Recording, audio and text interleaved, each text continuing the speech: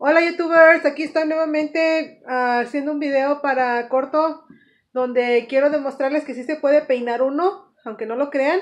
Si se hace un pequeño esfuerzo, pues la diferencia, no sé si ya miraron el video de hace unas horas donde amanecí con el pelo como que le pasó un tornado y un volcán juntos, así, de un lado y de otro. Entonces, ah, pues quiero decirles que no se necesita tener un estilista, ni se necesita tener siempre un estudio donde te arreglen, ni necesitas tener tanto lujo para poder hacerte la lucha y arreglarte un poquito, ¿verdad?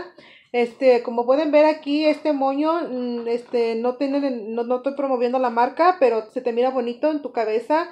Estos diseños también son diseños que se me ocurrieron a mí ponerlos aquí.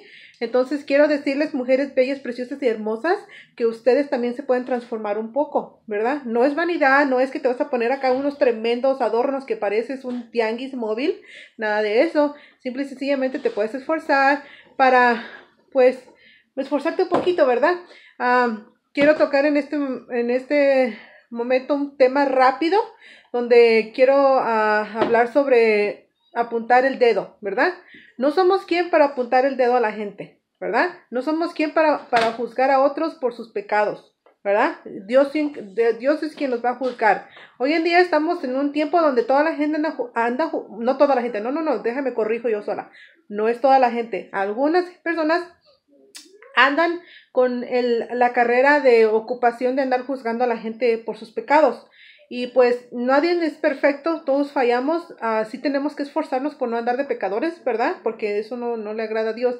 Pero si, si una persona dice, oh, yo nunca peco, yo soy una persona perfecta, pues está mintiendo porque no hay persona perfecta, no hay persona que no peque. Entonces, nuestro deber como seres humanos es amar a la gente, ¿ok?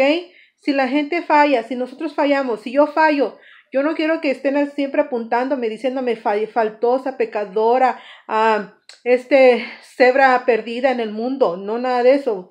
Eh, digo porque las cebras a veces se pierden como son blancas y negras, se pierden, ¿verdad? Entonces somos, somos llamados para amar a las personas, ¿verdad? Para amarlas independientemente, independientemente de, de sus fallas, ¿verdad? Dios es quien se va a encargar de cada quien. Amemos al prójimo, ¿verdad? No, no empecemos con que, ay, esa persona es pecadora y es mala, porque pues nosotros debemos amar a la gente, ¿verdad? Bueno, Nuevamente que Dios les bendiga. Este, les animo nuevamente pues a que tengan un día feliz, brillante, maravilloso, a que sean positivos, alegres, no permitan que nada ni nadie le robe su felicidad, ¿verdad? Les saluda y muchos saludos de parte de la señora, la que le, me llamo la señora Papada. Bendiciones.